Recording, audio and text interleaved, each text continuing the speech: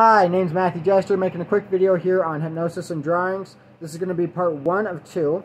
I have a certificate of completion here just showing that I'm certified and trained in the field of hypnosis as well as competent in the field of hypnosis.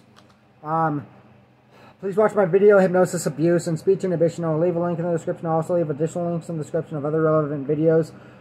I've been abused with hypnosis and my ability to speak is being inhibited with hypnosis, which is why I have to read everything when I make videos.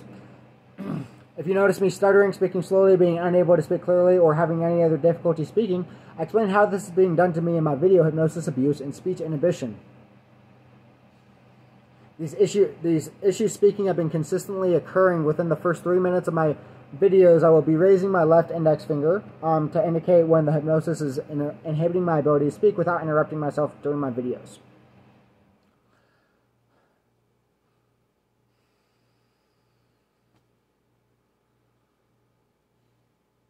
That's an example. Like, I mean, I don't exactly even have to look at the paper to know what I would be able to say under normal circumstances, but with hypnosis, I have to. So it's just further evidence of the hypnosis, right?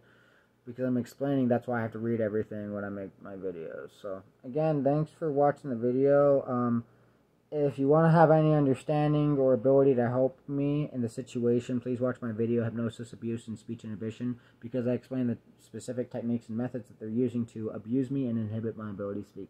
Thank you. Have a great day.